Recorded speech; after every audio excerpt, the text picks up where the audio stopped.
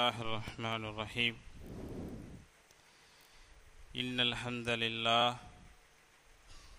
نحمده ونصلي على رسوله الكريم أما بعد. فأعوذ بالله من الشيطان الرجيم. بسم الله الرحمن الرحيم. ويا قوم استغفروا ربكم ثم توبوا إليه.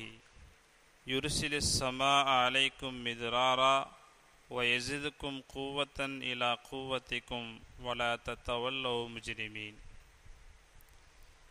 آمنت بالله صدق الله مولانا العظيم وصدق رسوله النبي الكريم ونحن على ذلك من الشاهدين والشاكرين والحمد لله رب العالمين புகழ் அனைத்தும் வல்ல ரஹ்மான் அல்லாஹ் ஒருவனுக்கே உரித்தாகட்டுமாக சலாத்தும் சலாமும் கண்மணி நாயகம் ரசூல் அக்ரம் சல்லல்லாஹு தாலா அலேஹி வசல்லம் அன்னவர்கள் மீதும். அன்னாரின் வழியை பின்பற்றி நமக்கு வழிகாட்டிகளாக விளங்குகிற சங்கைக்குரிய சஹாபாக்கள் தாபெயின்கள் தபா தாபெயின்கள். நல்லோர்கள் நாதாக்கள் மற்றும் நம் அனைவர் மீதும் என்றும் நீண்டு நிலவட்டுமாக. சங்கைக்கும் மேன்மைக்கும் உரிய அல்லாஹின் நல்லடியார்களே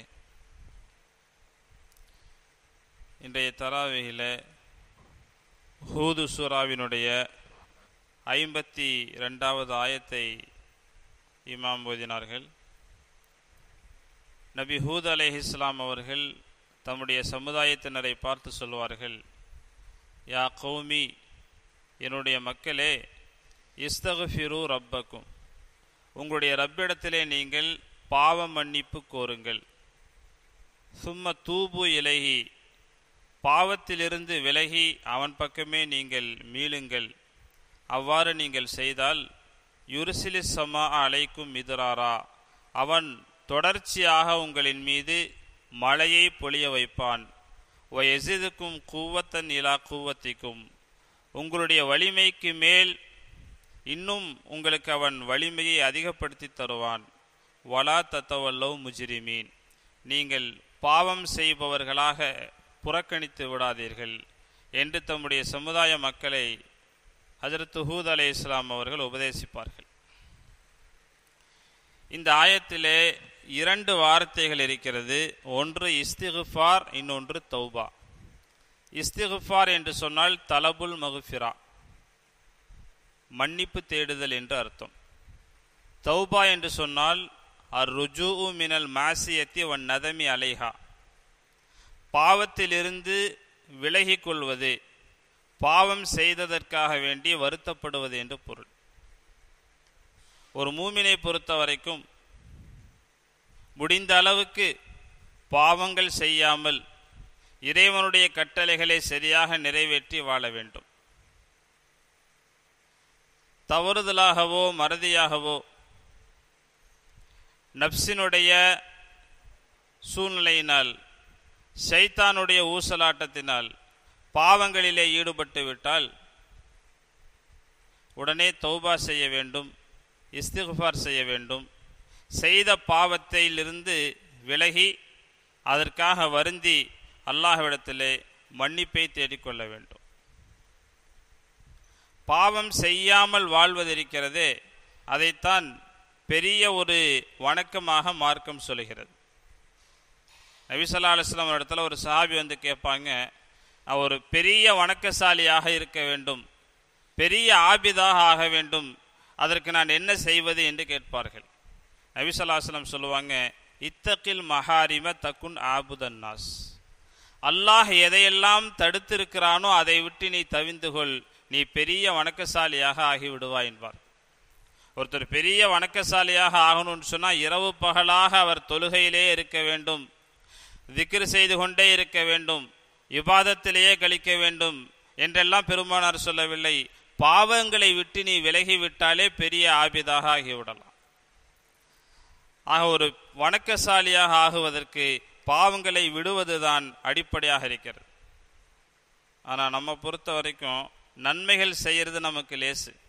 ஆனால் பாவங்களை விடுறது கஷ்டம். பல வருடங்களாக செய்து பழகிவிட்ட பாவங்களை உடனே விடுவது என்பது மிகப்பெரிய கஷ்டமாக இருக்கும். விடுவதற்கென்று நாம் நினைத்தாலும் கூட நம்மோடு இருந்து நம்மை இறை நினைவை விட்டும் திசை திருப்பக்கூடிய சைத்தான் அதற்கு விடமாட்டான். நம்முடைய நப்சே அம்மாரா என்று சொல்லக்கூடிய மனம் இருக்கிறதே அந்த மனமும் அதற்கு ஒத்துழைக்காது. அதையெல்லாம் போராடி வென்று பாவங்களை விட்டு முழுமையாக விலகி இனி அந்த பாவங்களையே நினைத்து பார்க்காமல் வாழ்வது என்பது உண்மையிலேயே ஒரு பெரிய ஒரு சிரமமான விஷயம். எனவேதான் இஸ்லாம் அதை ஜிஹாத் என்று சொல்கிறது போரிலே எதிரிகளோடு வெல்வதிருக்கிறதே அது சின்ன ஜிஹாத்.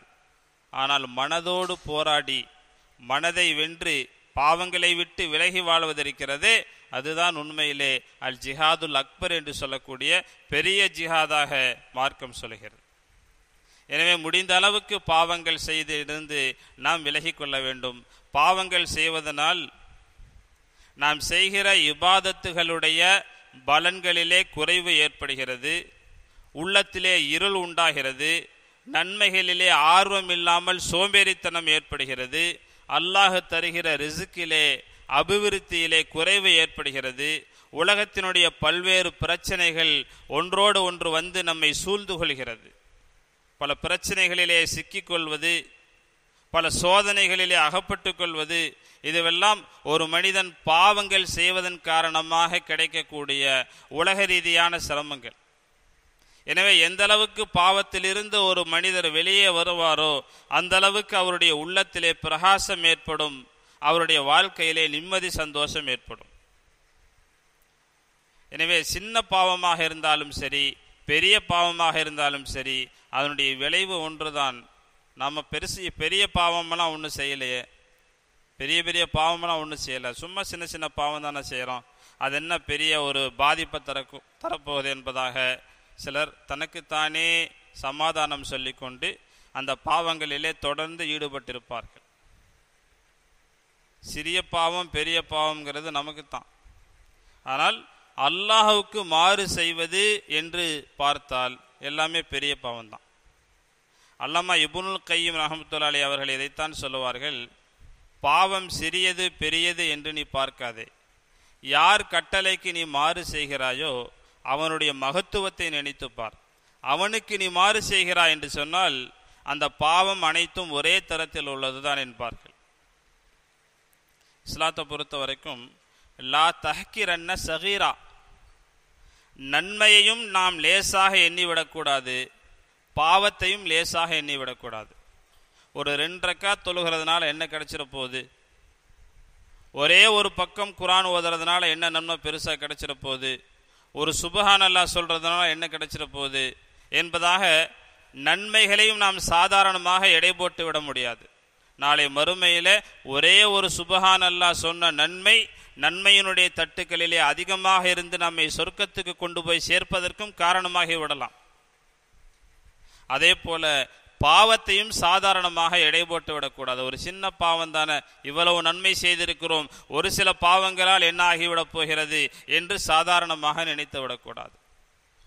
சின்னஞ்சிறு நன்மைகள் மறுமையில் எப்படி பெண்ணம்பெரு நன்மைகளை நமக்கு பெற்றுத்தருமோ அதே போல சின்னஞ்சிறு பாவங்கள் கூட மறுமையிலே மிகப்பெரிய கை சேதத்துக்கும் வருத்தத்துக்கும் காரணமாக ஆகிவிடும்.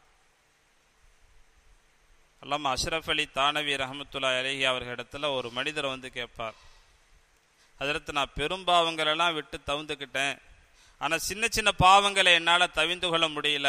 அதனால் ஏதாவது பாதிப்பு இருக்குதா? சின்ன பாவம் செய்கிறதுனால ஏதாவது பாதிப்பு இருக்குதா?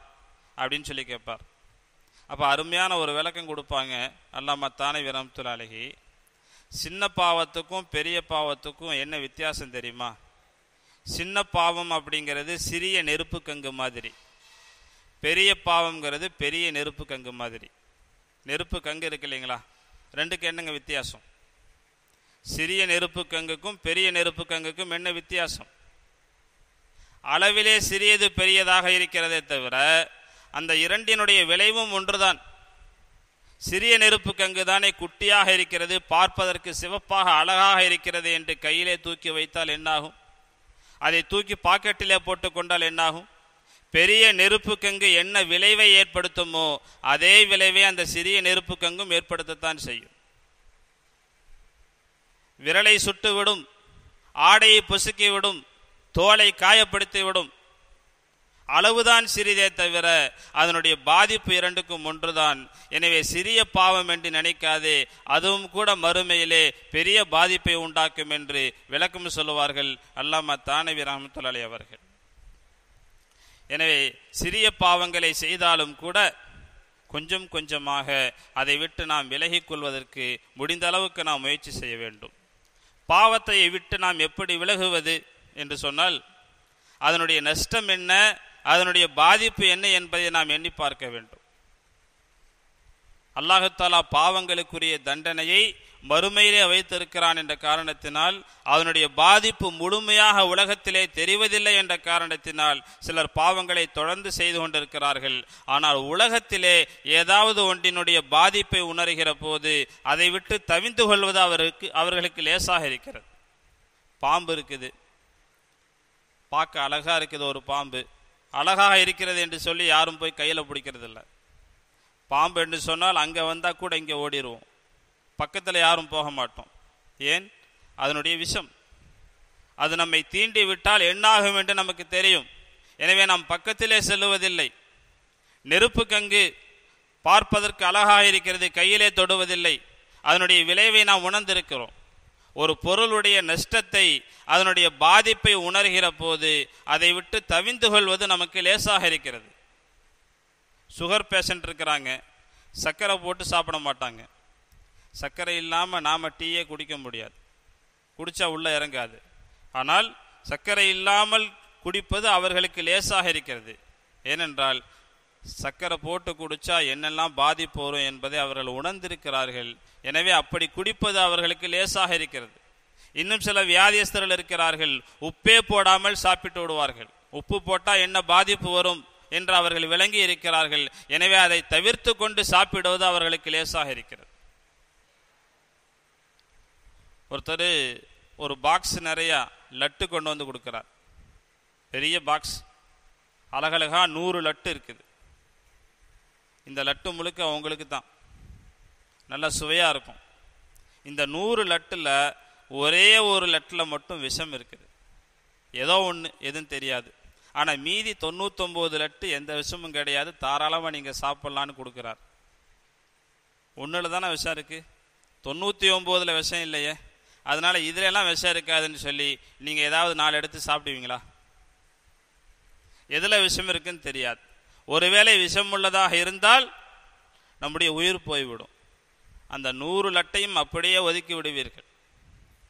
அப்போ ஒரு சதவீதம் உயிருக்கு ஆபத்து என்றாலும் கூட அதிலே நாம் ஈடுபடுவதில்லை அதை நாம் உண்ணுவதில்லை. அதே போல ஒரு சதவீதம் ஈமானுக்கு ஆபத்து என்றாலும் கூட அதை ஒதுக்கிவிட வேண்டும் அதிலிருந்து விலகிவிட வேண்டும். அப்போதுதான் நம்முடைய ஈமானுக்கு பாதுகாப்பு இருக்கிறது. மொத்தம் நூறு பாவம் இருக்குதுன்னு வச்சுக்குவோம். அல்லாஹாலா தடுத்து தடுத்திருக்கிற பாவங்கள் அதனுடைய மொத்த எண்ணிக்கை நூறு என்று வைத்துக்கொண்டால் சில பேர் தொண்ணூறு பாவங்களை விட்டு விலகி இருப்பார்கள். அதை நினைத்து கூட பார்க்க மாட்டார்கள். ஆனால் ஒரு பத்து பாவங்களை மட்டும் செய்து வருவார்கள். அதை விட்டு அவர்களால் விலக முடியாது. சில பேர் தொண்ணூத்தைந்து பாவங்களை விட்டு விலகி விடுவார்கள். ஒரு அஞ்சு பாவம். அதையும் விட்டுட்டாங்கன்னா அவங்க வழியுள்ளாவாயிரலாம் ஆனால் அவங்களால விட முடியாது. இன்னும் சில பேர்த்துக்கு ரெண்டு மூணு பாவம் தான் தொண்ணூற்றி எட்டு பாவத்தை விட்டு விலகிடுவாங்க ஒரு ரெண்டே ரெண்டு பாவத்தை விட்டு அவர்களால் விலக முடியாது. அந்த ரெண்டு பாவங்கள் மூன்று பாவங்கள் இறைவனை அடைவதை விட்டும் இறை பொருத்தத்தை பெறுவதை விட்டும் அவர்களுக்கு தடையாக இருந்து கொண்டே இருக்கும். நம்முடைய உள்ளத்தை இறைவனோடு ஒட்ட வைக்க வேண்டும். இதுதான் இலக்கு. அந்த இலக்கை அடைவதற்கு நம்மிடத்தில் இருக்கிற ஓரிரண்டு பாவங்கள் தடையாக இருக்கிறது. மீதி தொன்னூற்றுக்கும் அதிகமான பாவங்களை விட்டு நாம் விலகி விட்டோம் என்று சொன்னால் அதே போல இந்த ஓரிரண்டு பாவங்களை விட்டு ஏன் விலக முடியாது? பண்டியினுடைய இறைச்சி அதை நினைத்தாலே நமக்கு அருவருப்பாக தெரிகிறது. சாராயம் அதை நினைத்தாலே நமக்கு அருவருப்பாக தெரிகிறது. அதை மனதிலே கூட நாம் நினைத்து பார்ப்பதில்லை. அதுவும் குற்றம்தான் பாவம்தான். நாம் செய்து வருகிற ஓரிரண்டு செயல்களும் பாவம்தான். இரண்டினுடைய விளைவும் ஒன்றுதான் என்கிற போது அதை விட்டு விலகி கொண்ட நாம் அதை நினைத்து பார்க்கவே விரும்பாத நாம் இந்த பாவங்களை ஏன் நாம் பிரியத்தோடு செய்கிறோம்? இதனுடைய பாதிப்பும் அதே போலத்தானே மறுமையிலே பெரிய நஷ்டத்தை ஏற்படுத்தும். எனவே அதனுடைய மறுமையினுடைய பாதிப்பை நாம் விளங்கி நாம் எப்படி உலகத்தினுடைய பாதிப்பை விளங்கி சில விஷயங்களை விட்டு தவிந்து கொள்கிறோமோ அதே போல நாம் பாவங்களை விட்டு தவிந்து கொள்வதிலே கொஞ்சம் முயற்சி எடுத்தால் நிச்சயமாக பாவங்களிலிருந்து நாம் விலகி கொள்ள முடியும். இமாம் அபு ஹனீஃபா ரஹமத்துல்லாஹி அலஹி அவர்களுடைய ஆசிரிய பெருந்தகைகளிலே ஒருவர் அல்லாமா அத்தா இபுனு அபி ரபாஹ் ரஹமத்துல்லா அலஹி மிகப்பெரிய இறைநேசர். அவர்களுக்கு அவ்வப்போது அல்லாஹாலா உள்ளத்திலே சில இல்ஹாம்களை போடுவான். மன உதிப்புகளை உண்டாக்குவான்.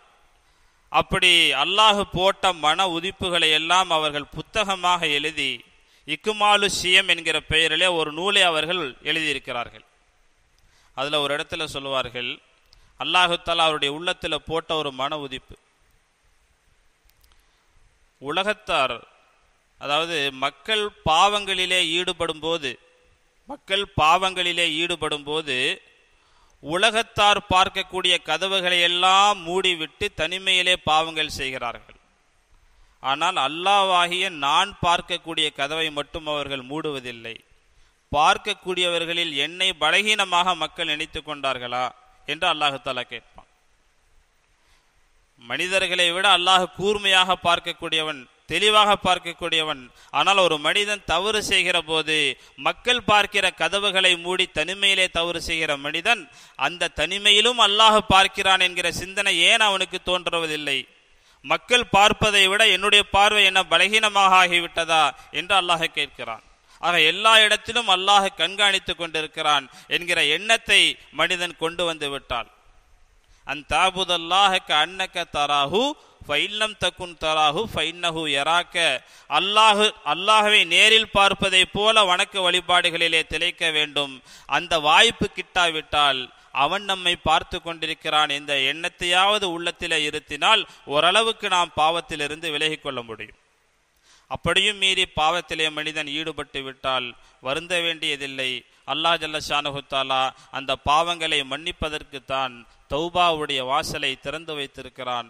பாவ மன்னிப்பினுடைய வாசலை திறந்து வைத்திருக்கிறான். இன்னல்லாக எக்குபலு தௌபத்தல் அபதி மாலம் யுகர்கிர். ஒரு மனிதன் அவனுடைய உயிர் தொண்டை குழிக்கு வராத வரைக்கும் அல்லாஹு தலா அவனுடைய தௌபாவை ஏற்றுக்கொள்கிறான். மரணத்தினுடைய கடைசி நேரத்திலே செய்கிற தௌபாவை அல்லாஹ் ஏற்றுக்கொள்வதில்லை. மரணத்தினுடைய கடைசி நேரத்திலே ஒரு காஃபிர் கொள்கிற ஈமானை அல்லாஹ் ஏற்றுக்கொள்வதில்லை. அதற்கு முன்பு வரைக்கும் அல்லாஹ் தௌபாவுடைய வாசலை திறந்து வைத்திருக்கிறான். ஹதரத்து மூசா அலை இஸ்லாம் அவர்களை துரத்தி சென்ற ஃபிரௌன் செங்கடலிலே மூழ்கடிக்கப்பட்டு இறப்பினுடைய இறுதி தருவாயிலே இஸ்ரவேலர்கள் ஈமான் கொண்ட ரப்பை நானும் ஈமான் கொள்கிறேன் என்று கடைசி நேரத்திலே அவன் ஈமான் கொண்டான். ஆனால் அந்த நேரத்தில் அவனுடைய ஈமானை அல்லாஹ் ஏற்றுக்கொள்ளவில்லை. அதற்கு முந்தைய கட்டம் வரைக்கும் அல்லாஹ் ஈமானையும் ஏற்றுக்கொள்கிறான் தௌபாவையும் ஏற்றுக்கொள்கிறான். மிக அருமையாக ஹதீஸ் குதிசியிலே ஒரு ஹதீஸ் வரும். இன்ன அப்தன் அதுனப தம்பன் பகால ரப்பி அதுனபுத்து பகுஃபிருஹு பக்கால ரப்புஹு அலிம அப்தி அன்னலஹு ரப்பன் எகுஃபிரு துனூப கஃபர் துலி அப்தி. அல்லாஹு தலா சொல்வதாக பெருமானார் சல்லல்லா அலிஸ்லாம் அவர்கள் சொல்லுவார்கள் ஒரு அடியான் ஒரு பாவத்தை செய்கிறான். பாவம் செய்ததற்கு பின்னால் தன்னுடைய ரப்பிடத்திலே அவன் வருத்தம் தெரிவிக்கிறான். என்னுடைய ரப்பே நான் இந்த பாவத்தை செய்துவிட்டேன். என்னை மன்னித்து விடு என்று அவன் அல்லாஹ்விடத்தில் தௌபா செய்கிற போது அல்லாஹ் சொல்வானாம் என்னுடைய அடியானை பார்த்தீர்களா? என்னுடைய அடியானை பார்த்தீர்களா? அவன் பாவம் செய்து விட்டான் என்னிடத்திலே மன்னிப்பு கேட்கிறான். அவன் தெரிந்து வைத்திருக்கிறான். தன்னுடைய பாவத்தை மன்னிக்க கூடிய ஒரு ரப்பு தனக்கு இருக்கிறான். நாம் தௌபா செய்தால் அவன் மன்னித்து விடுவான் என்று அந்த அடியான் என்னை பற்றி தெரிந்திருக்கிறான். எனவே என்னுடைய அடியானுடைய பாவத்தை நான் மன்னித்து விட்டேன் என்று அல்லாஹ் தன்னுடைய மலக்குமாரிடத்திலே சொல்லுவானாம். சில காலங்கள் பாவத்திலிருந்து தவிந்திருக்கிற அந்த அடியான் மீண்டும் ஒரு பாவத்தை செய்துவிட்டு அல்லாஹ்விடத்திலே தௌபா செய்வான். அப்போதும் அல்லாஹ் மலக்க இடத்திலே சொல்லுவான் என்னுடைய அடியானை பார்த்தீர்களா? தன்னுடைய பாவத்தை மன்னிக்கக்கூடிய ஒரு ரப்பு இருக்கிறான் என்று அவன் விளங்கிய இடத்திலே தௌபா செய்கிறான். எனவே அவனுடைய பாவத்தை மன்னித்து விட்டேன் என்று சொல்லுவானாம்.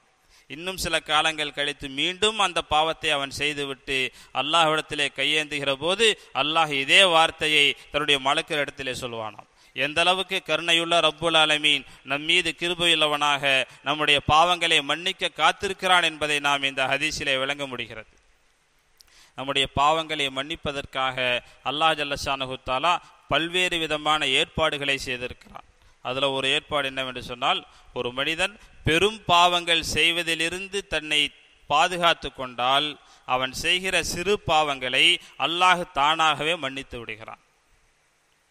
திருக்குறானில் அல்லாஹ் சொல்வான் இன் தஜித்தனிபு கபாயிரமா துன்ஹவுன் அன்ஹு நுக்கஃபிர் அன்கும் செய்யாத்திக்கும் ஒனுதுகிலுக்கும் மதுகலன் கரீமா.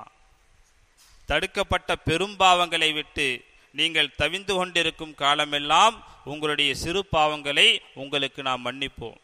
எனவே பெரும் பாவங்களை விட்டு தவிந்து கொள்கிற வரைக்கும் சிறு பாவங்களை அல்லாஹு தலா மன்னிக்கிறான். இது ஒரு ஏற்பாடு. இரண்டாவது ஒரு பாவத்தை செய்துவிட்டு அந்த பாவத்தை செய்த உடனே ஏதாவது ஒரு நன்மையான காரியத்தை செய்தால் அந்த நன்மையின் காரணமாக அந்த பாவத்தை அல்லாஹ் மன்னித்து விடுகிறான். ஹதீஸிலே வரும் இத்தக்கில்லாக ஹைசுமா குன்த நீ எங்கே இருந்தாலும் அல்லாஹவை அஞ்சிக்கொள். ஒத்தபே சையத்தல் ஹசனத்த தம்ஹுஹா. பாவத்தை மன்னிக்கக்கூடிய பாவத்தை அழிக்கக்கூடிய ஒரு நன்மையை நீ தொடர்ந்து செய்துவிடு. வஹாலுக்கு இல்லாஹ பிஹுலுக்கின் ஹசனின். நற்குணத்தோடு நீ அல்லாஹ்விடத்திலே நடந்து கொள் என்று பெருமானார் சொல்வார்கள். ஒரு பாவத்தை செய்து விட்டால் பாவம் செய்த உடனே ஒரு நன்மையை செய்தால் இந்த நன்மையை கொண்டு அந்த பாவத்தை அல்லாஹத்தால் அழித்து விடுகிறான். அதே போல மூன்றாவதாக நாம் செய்கிற ஃபர்லான நஃபிலான இபாதத்துகளின் காரணமாக அல்லாஹு தாலா பாவங்களை மன்னிக்கிறான். இன்று ஓதப்பட்ட தராவிகளை இன்னல் ஹசனாத் இன்னல் ஹசனாத் யுதுஹிபன செய்யாத் வதாலிக்க திக்ரால் இதாக்கிறேன் நிச்சயமாக நன்மைகள் பாவங்களை அழித்து விடுகிறது என்று அல்லாஹ் திருமறையிலே சொல்வான். நாம் ஒளி செய்கிற போது ஒளிவினுடைய உறுப்புகள் கழுவப்படும் போது அந்த உறுப்புகளால் செய்யப்பட்ட பாவங்களும் தண்ணீரால் கழுவப்படுகின்றன. என்று ஹதீஸில் வருகிறது. வீட்டிலிருந்து ஒளி செய்துவிட்டு பள்ளிக்கு வருகிற போது ஒவ்வொரு எட்டுக்கும் ஒரு பாவம் மன்னிக்கப்படுகிறது ஒரு நன்மை பதிவு செய்யப்படுகிறது.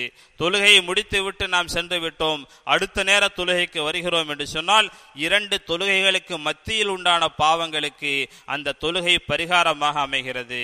ஒரு ரமதானுக்கும் அடுத்த ரமதானுக்கும் இடையிலே ஏற்பட்ட பாவங்களுக்கு அந்த ரமதானுடைய காலத்தில் நாம் நோற்ற நோன்பு பரிகாரமாக அமைகிறது. ஒரு ஜும்மாவுக்கும் அடுத்த ஜும்மாவுக்கும் இடையில் ஏற்பட்ட பாவங்களுக்கு அந்த ஜும்மா தொழில்களை நாம் நிறைவேற்றியது அது பரிகாரமாக அமைகிறது. ஆக நாம் செய்யக்கூடிய இபாதத்துகள் அந்த இபாதத்துகளின் காரணமாக நம்முடைய பாவங்களை அல்லாஹ் ஜல்லஷானுத்தாலா மன்னித்து கொண்டிருக்கிறான். அடுத்த கட்டமாக நமக்கு ஏற்படக்கூடிய சோதனைகள் கஷ்டங்கள் சிரமங்களை கொண்டும் அல்லாஹ் நம்முடைய பாவங்களை மன்னிக்கிறான். நபிசல்லா அலுவலாம் அவர்கள் சொல்லி காட்டுவார்கள் மா யுசைபுல் முஸ்லிம மின் நசபின் வலா வசபின் வலா ஹுசனின் வலா கம்மின் வலா அதா ஹத்த சவுக்கத யுஷாக்குஹா இல்லா கஃபர் அல்லாஹு பிஹா மின் ஹத்தாயாகு ஒரு முஸ்லிமுக்கு ஏற்படக்கூடிய கஷ்டம் சோதனை துக்கம் துயரம் வேதனை எதுவாக இருந்தாலும் சரி அவன் செய்த பாவங்களுக்கு அது பரிகாரமாக ஆகிவிடுகிறது. அவனுடைய காலில் குத்தக்கூடிய முள் உட்பட. காலிலே முள் குத்துவதால் நாம் அடைகிற அந்த சின்ன வழி வருத்தத்தை கூட அல்லா ஜல்லஷானுத்தாலா அதற்கு தகுந்தாற்போல நாம் செய்த ஒரு பாவத்தை எடுத்து அதை மன்னித்து விடுகிறான். ஒரு பெரிய கஷ்டம் நம்மை வந்தடையுமானால் அந்த கஷ்டத்துக்கு தகுந்தாற்போல ஒரு பாவத்தை எடுத்து அல்லாஹ் மன்னித்து விடுகிறான். ஒரு பெரிய வியாதி நம்மை தீண்டுமானால் அந்த வியாதியினால் நாம் படுகிற வேதனைக்கு தகுந்தாற் போல நாம் செய்த ஒரு பாவத்தை எடுத்து அல்லாஹ் மன்னித்து விடுகிறான். ஆக சோதனைகளால் வியாதிகளால் கஷ்டங்களால் நஷ்டங்களால் அல்லாஹ் நம்முடைய பாவங்களை மன்னித்து கொண்டே இருக்கிறான். ஆக இது போல சோதனைகளாலும் இபாதத்துகளாலும் பெரும் பாவங்களை தவிந்து கொள்வதாலும் அல்லாஹ் ஜல்லசானுத்தாலா நம்முடைய பாவங்களை மன்னிப்பது நாம் செய்யக்கூடிய சிறு பாவங்களைத்தான் என்று மார்க் அறிஞர்கள் சொல்கிறார்கள். ஒருவேளை பெரும் பாவங்களை ஏதாவது நாம் செய்துவிட்டால் அல்லாஹ் ஜல்லசானுத்தாலா நாம் செய்யக்கூடிய தௌபாவை கொண்டு இஸ்திகுஃபாரை கொண்டுதான் அல்லாஹ் மன்னிக்கிறான். அந்த பாவங்களிலே எது பெரு பாவங்கள் எது சிறு பாவங்கள் என்று நாம் உறுதியாக வரையறை செய்ய முடியாது. சில நேரங்களிலே செய்யக்கூடிய காலத்தை பொறுத்து செய்யக்கூடிய நேரத்தை பொறுத்து செய்ததனுடைய விளைவை பொறுத்து செய்யக்கூடிய மனிதரை பொறுத்து பாவங்கள் சிறு பாவங்களாக இருக்கலாம் பெரும் பாவங்களாக இருக்கலாம். எனவே நாம் எப்போதுமே இஸ்திஃபார் செய்வதை தௌபா செய்வதை நாம் வளமையாக ஆக்கிக் கொள்ள வேண்டும். நம்முடைய உயிரினும் மேலான கண்மணி நாயகம் சல்லல்லாஹ் அலையுசல்லம் அவர்கள் சொல்வார்கள் இந்நில அஸ்தகஃபிருல்லாஹ வா இலைஹி ஃபில் யௌமி அக்ஸர மின் மர்ரத்தன். நான் தினமும் எழுபது தடவை அல்லாஹ்விடத்திலே தௌபா இஸ்திஃபார் செய்து கொண்டிருக்கிறேன் என்று சொல்வார்கள்.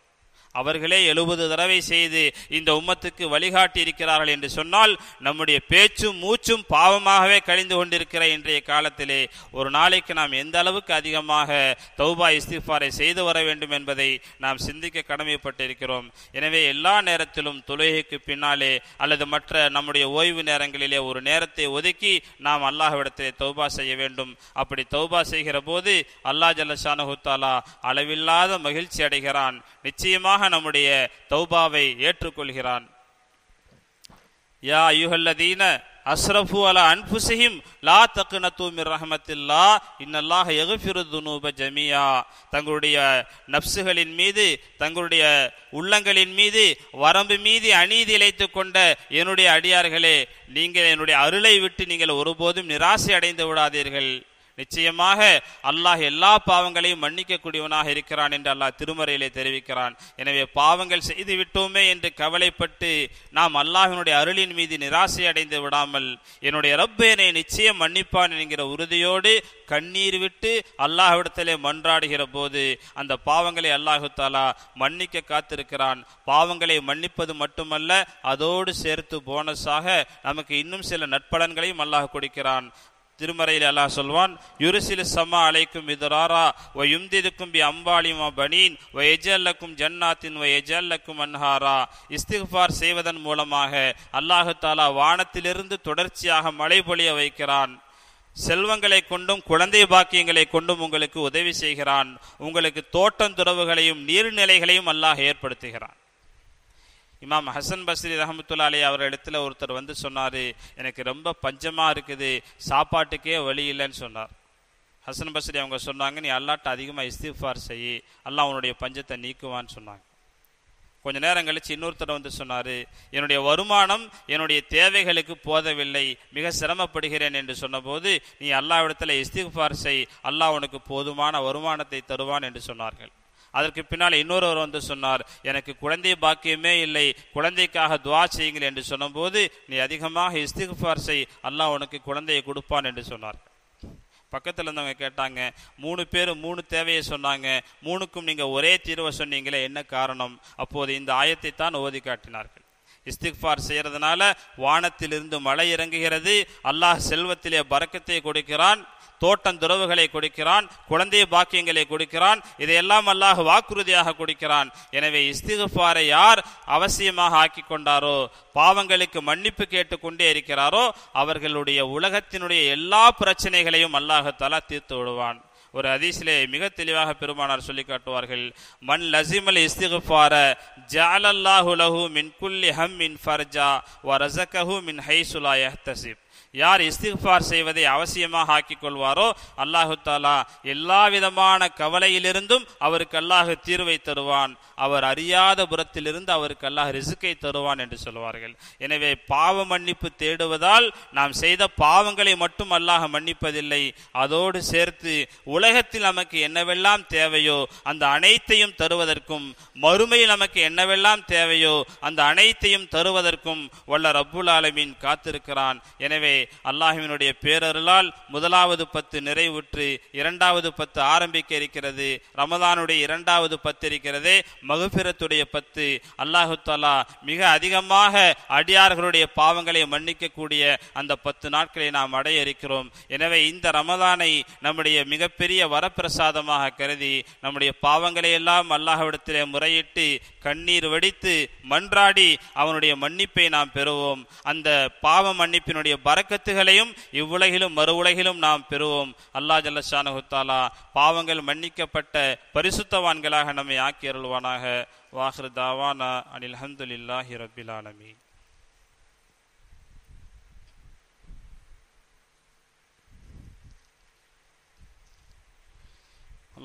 الحمد ولک الشکر اللہ یا رحمان یا رحیم اللہم صلی علی سیدنا محمد وعلی آل سیدنا محمد وبارک وسلم. ربنا تقبل منا ما كان صالحا واصلح لنا ما كان فاسدا.